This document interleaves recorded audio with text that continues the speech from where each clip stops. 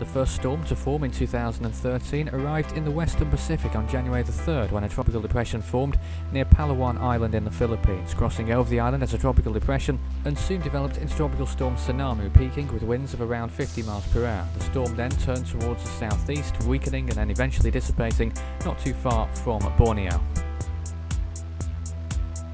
A few days later, on January the 7th, a tropical storm formed in the South Indian Ocean to the south of Indonesia and developed into Cyclone Narelle, generally moving along its route towards the uh, southwest and peaked with wind speeds of 130 miles per hour sustained, that's category 4 intensity, and a minimum air pressure of 930 millibars.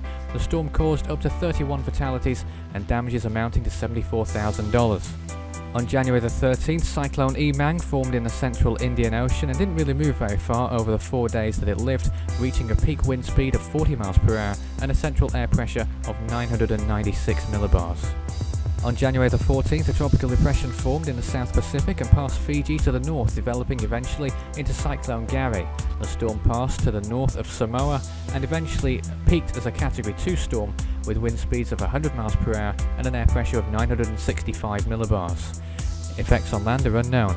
On January 21st, a short-lived storm by the name of Oswald formed in the Gulf of Carpentaria and soon made landfall in Australia, peaking with a wind speed of 40 miles per hour and an air pressure of 991 millibars.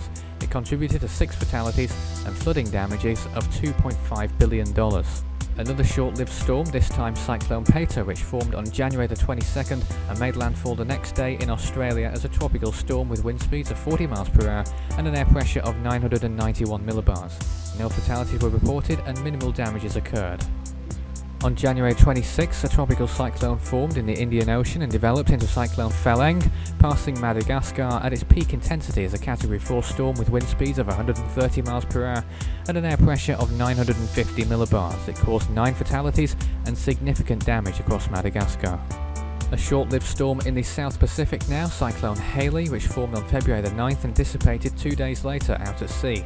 Peak wind speeds were 50 miles per hour with an air pressure of 990 millibars no ill effects occurred on land. Our ninth storm, Cyclone Gino, formed on February the 11th and peaked out at sea in the Indian Ocean with, as a Category 2 storm with wind speeds of 105 miles per hour and an air pressure of 960 millibars. The storm remained out at sea and didn't affect any land areas. On February 18th, a tropical storm formed in between Madagascar and the African continent and developed into Cyclone Haruna, making landfall on Madagascar in the southern part as a Category 2 storm, nearly Category 3.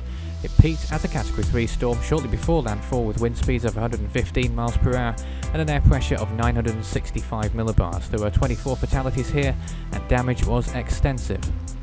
On February 19th, a tropical depression formed just south of Mindanao in the Philippines and crossed the southern southwestern extremity of the island, remaining a tropical depression without strengthening with peak wind speeds of 30 miles per hour and an air pressure of 1002 millibars. The storm caused four fatalities and just over a quarter of a million dollars in damages.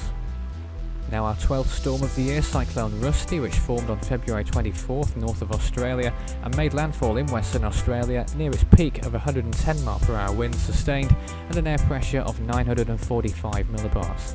The storm didn't cause any fatalities and only caused minimal damage in Australia. The last storm to form in February, Cyclone 18S, formed on February the 24th in the South Indian Ocean and didn't really last very long, only three days, peaking as a tropical storm with wind speeds of 45 miles per hour and an air pressure of 995 millibars.